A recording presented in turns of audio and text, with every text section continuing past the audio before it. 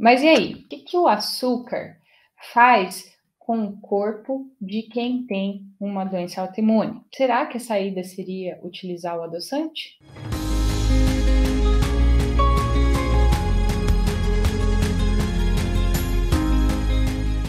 Primeiro, quando você come açúcar, ou quando você come qualquer tipo de carboidrato, esse açúcar, né, faz com que o seu pâncreas, que é um órgão que produz um hormônio chamado insulina, que ele produza insulina para que este açúcar seja colocado dentro da célula para ser utilizado como energia. Isso acontece, a menos que você tenha uma autoimune chamada diabetes tipo 1. Se você tem diabetes tipo 1, você não produz ou produz de forma insuficiente a insulina, e aí você tem que colocar para dentro com uma injeção de hormônio insulina, tá? Mas se você tem diabetes tipo 2, que não é uma autoimune, ou se você tem é, qualquer outra autoimune que não seja diabetes tipo 1, é isso que acontece. Só que acontece, quando você come açúcar, açúcar é, um carboidrato, é, um, é, é uma energia muito rápida, porque sobe o açúcar muito rápido, chega muito açúcar, né? Chega açúcar e o seu pâncreas tem que produzir insulina proporcionalmente para poder dar conta desse açúcar no seu sangue, para que quando você, para que você não tenha um açúcar no sangue super elevado, né, e isso não seja um problema para você. Né? Então, quando você vai lá e mede o, a sua glicemia de jejum, é isso que acontece. Tá normal. Por que, que tá normal? Porque você tá produzindo insulina. Então, independente do estrago que você faça, ela vai continuar normal, porque seu pâncreas vai dando conta, tá? Aí, lógico, você com o tempo pode desenvolver uma resistência insulínica e essa insulina não funcionar mais tão bem. Mas o que eu quero que você entenda aqui é, é que todas as vezes que você come açúcar, você vai produzir insulina. E esse pico de insulina, se ele acontece é, de forma crônica, ele gera um processo inflamatório, ele faz um estímulo inflamatório. Então é ruim. Então, esse aumento de glicose no sangue, de açúcar no sangue, ele vai estimular também é, radicais livres.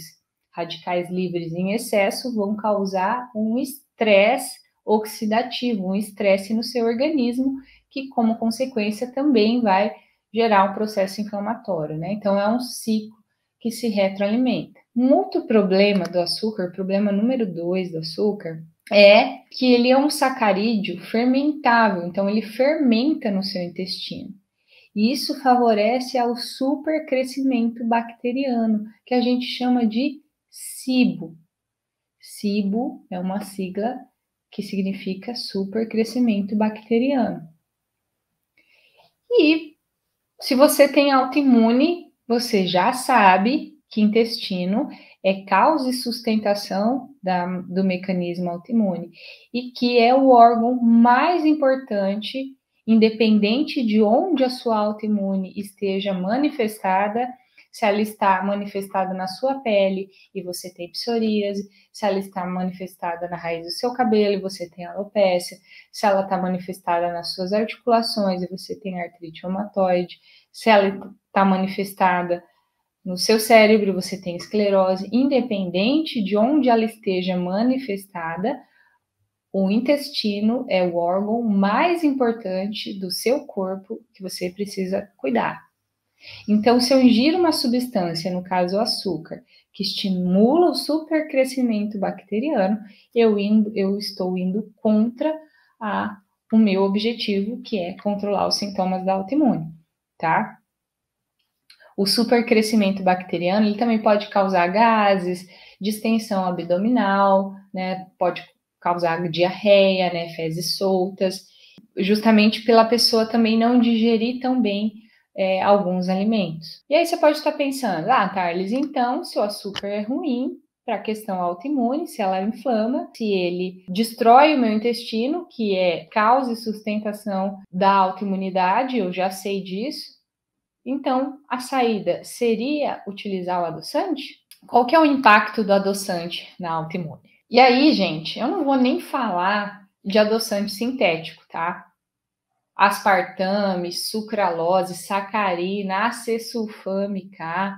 Esses adoçantes sintéticos, você já está cansado de saber que são ruins, não é verdade? Ah, Carlos, então o sintético é ruim porque é sintético, meu corpo não reconhece como natural.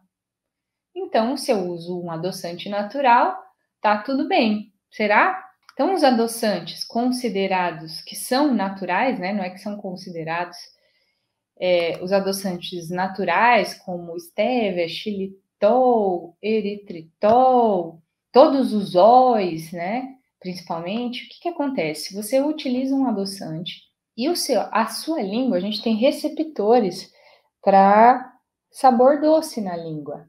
E quando você, a sua língua, recebe esse sabor doce do adoçante, ela entende que tem açúcar aí. E aí, lembra que eu expliquei lá no começo sobre liberação de insulina? Seu corpo libera insulina porque ela acha que está chegando açúcar, mas não está chegando açúcar. Então, esse estímulo à insulina, ela, ele acontece também com a utilização de adoçantes, seja ele qual for. E esses adoçantes é, terminados em ol, eritritol, xilitol, maltitol, eles já foram colocados como uma grande libertação do mundo contra o açúcar, porque eles têm um sabor agradável. Mas aí qual que é a questão? Esses óis, eles alteram a microbiota intestinal também, pois eles também fermentam no intestino. Olha só que loucura! Eles também fermentam no intestino. E aí, como você já bem sabe, já bem sabe, se você quer silenciar os sintomas da autoimune, você deve colocar o seu intestino como órgão principal a ser trabalhado.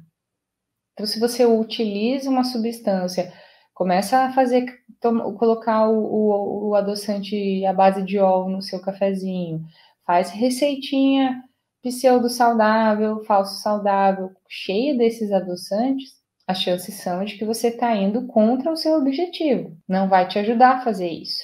E olha só, para cada, olha só como o, o, o intestino ele tem uma comunicação constante com o cérebro. Existe um eixo de comunicação entre cérebro e intestino.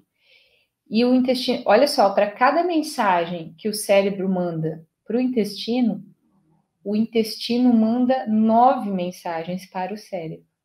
Pensa na importância dessa comunicação. Por isso, nós dizemos que o intestino é o segundo cérebro. E aí, se você usa adoçante, mesmo os naturais, você está destruindo seu intestino, ou pelo menos não está tratando. Então, sempre quando você for comer alguma coisa, pensa: esse alimento está nutrindo ou está destruindo o meu intestino? Pensa sempre, não importa com caloria, não importa com rótulo de sem glúten, sem lactose, o que for. Você precisa ler o rótulo e ver se tem adoçante, se tem aditivo, se tem outras coisas ali no meio. Ah, Tarles, mas o que, se eu for fazer uma receita, de vez em quando, um bolo ou alguma coisa assim, o que eu coloco? Açúcar ou adoçante? Na minha forma de ver, é melhor você colocar açúcar. Açúcar não é um alimento para uso diário, mas quando você quer fazer uma receita, sei lá, um bolo, alguma coisa assim, você consegue, e eu, eu vejo como uma melhor estratégia você utilizar um açúcar como demerara, por exemplo